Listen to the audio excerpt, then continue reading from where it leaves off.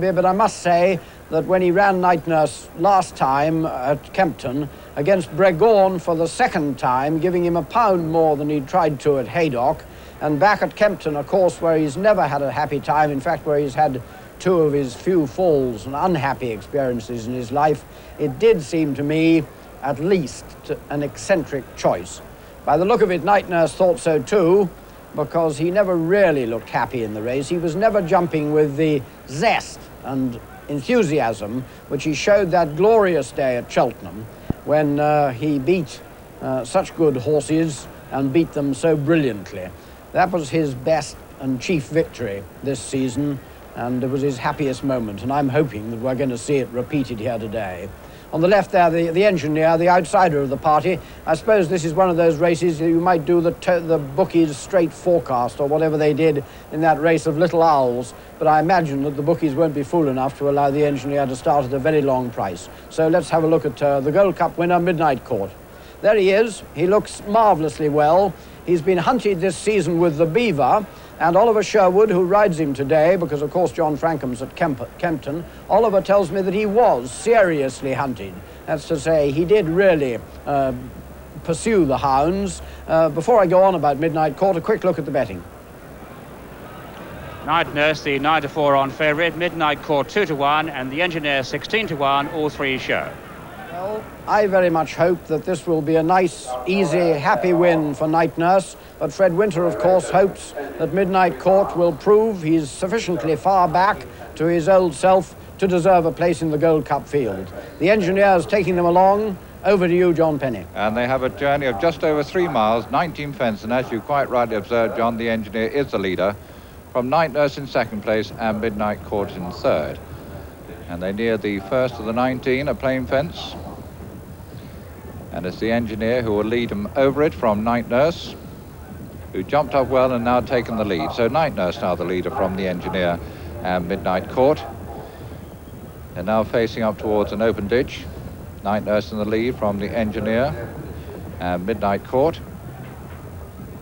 All safely over that, Jonjo O'Neill with Night Nurse in the lead, being followed by Gordon Holmes on the engineer. Oliver Sherwood then just brings up the rear with Midnight Court as they come towards fence number three. And the engineer just fractionally the back marker as Night Nurse continues to lead from Midnight Court and the engineer. And so they're swinging now into the straight on towards fence number four. They have four plain fences up the straight. The white cap and breastplate of Night Nurse in the centre, the engineer towards the right, and Midnight Court just on the left. And so they come into this plain fence, all jumping well. And of course, Night Nurse has now won 30 races, worth just about £126,000. Hopefully on his way to another success, but they have quite a long way to go yet. And Midnight Court, the former Gold Cup winner on the near side, obviously is not going to let him have things his own way. And so Night Nurse in the lead as they go now towards fence number six from the engineer trained in Scotland on the far side, once again the fractional leader. And then comes Midnight Court. And Night Nurse really loving it and uh, jumping well with plenty of zest as they come in towards fence number seven, which will be the 19th and final fence next time round. And so as they shape up towards it, it's Night Nurse, the leader. And Midnight Court just in behind Night Nurse with the engineer on the far side. Well, John, you didn't have an awful lot of time to talk about Night Nurse. I know you have lots of good things to say about him, so we'll rejoin you. Well, the happiest thing, John, is I'm touching my wooden table, but uh, uh, the happiest thing is that he looks as if he's really enjoying himself. And I bet you Jonjo O'Neill is too, because he told me that the old horse was never really happy at Kempton. He's always hated the place, and he felt that way to Jonjo. But today, I'm sure Jonjo is getting exactly the opposite feeling. So far, Night Nurse hasn't met a fence wrong. He's either stood back, as he did then at the water, or fiddled very, very neatly indeed. Mind you, Midnight Court's been jumping well, so for that matters the engineer so far. But Night Nurse, of course, doesn't mind. Oh, he got a little bit close there, but see the cleverness of him. He didn't hit the fence at all, uh, didn't lose any ground, and hardly any impetus. Nevertheless, Midnight Court is going well enough on the rails uh, to maybe give him a race. Who knows? At this moment, I would still be perfectly happy about Night Nurse, and I reckon that Jonjo O'Neill is. But uh, Oliver Sherwood getting just a little bit close to that fence on Midnight Court. Night Nurse jumped that the better.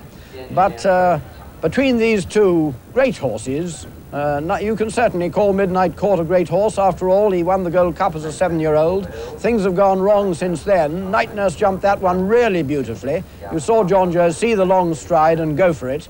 So between these two, maybe it'll be a question as to who can jump best from here, because Night Nurse certainly isn't having it all his own way. Back to you, John. Well, these two good jumpers really pinging their fences. As they make their way around the far side, just over a mile to go, and on towards fence number 13 with uh, Midnight Court, the fractional leader here from Night Nurse. The engineer about five lengths off the leading pair. And so as they come towards this next plain fence, they both approach it together, both come out of it virtually together, and then comes the engineer. So next is an open ditch, and both still going well within themselves, a good, sensible pace. Night Nurse on the far side of Midnight Court. And uh, Night Nurse, once again, the better jump there, comes out of about three parts of length from Midnight Court. And so they have one more fence on the turn before they come back into the straight, and the engineer is still in the picture, but about six lengths off the leaders. And once again, Night Nurse, a better jump there from Midnight Court and the engineer. And so they've got about five furlongs still to run as they start to turn into the straight and on towards fence number 16. Night Nurse on the left, Midnight Court on the right. That's the leading two and of course both destined to have a go at the Cheltenham Gold Cup again. And so let's see how they fare over the closing four fences. And once again, Night Nurse is the superior there, but uh, only just a little bit over Night Nurse, who now comes under pressure from Oliver Sherwood as they come now in towards the third from home. Three plain fences ahead of them. Night Nurse is the leader from uh, Midnight Court. And Jonjo just looks back there at Oliver and more or less says, well, come on, I'm going to make the best of my way home and he's coming now towards the second last and now going clear of Midnight Court and the engineer still back in third place. And what a jump there from Night Nurse. He really leapt at that and ate it up. And he's now gone about five, six lengths clear. And so with one fence to go and the Pennine Chase is now Night Nurse well clear and motoring along quite sweetly in the lead. Let's see how he takes his final fence. Oh, he really sprawled at that one, but got away with it safely from Midnight Court in second place, the engineer over in third as they come up towards the line. Night Nurse, a real hollow victory here, and he's really pulverized Midnight Court and the engineer, who will finish third, but at the line, Night Nurse, a very easy winner from Midnight Court in second place, and the engineer over in third. And already the William Hill organisation have quoted Night Nurse 5 to 2 favourite from 3 to 1. And so confirmation of the result. First, number three, Night Nurse, owned by Mr. Reg Spencer, trained by Peter Easterby and ridden by Jonjo O'Neill. Second, Midnight Court, owned by Mrs. Olive Jackson, trained by Fred Winter, ridden by Mr. Oliver Sherwood. And third home, number six, the engineer, owned and trained by Lord Kilmany and ridden by Gordon Holmes. Well, what can one really say about Night Nurse? Now his winnings now go on and way over the £128,000 he's won in his life. Of course, he's won 30 jump races and also three flat. He's including the champion hurdle of 1976 and 1977. Then he was third the following year, and last season he was runner-up to Little Owl in the Cheltenham Gold Cup. He's in good form this season, as we've clearly seen today, this being his third victory of the present campaign. His other two have been at Worcester and Newbury. As we already know, he was the current ante-post favourite for the Cheltenham Gold Cup, and on that running today, surely this fella must take a hell of a lot of beating. Jonjo Reddy pleased with the performance of his old partner, now 11-year-old, as he comes back to collect this prize, which is worth just under £3,000 for the winning owner, Mr. Reg Spencer, whose colours, of course, his horse has carried all the time since he saw a racecourse for the first time. A real legend in his own is night nurse, trained by Peter Easterby. Of course, really disappointed that Little Owl is now out of action. And incidentally, night nurse is uh, just one of the team that hasn't been bedeviled by the virus, which seems to have struck Easterby's string at this present time of the year.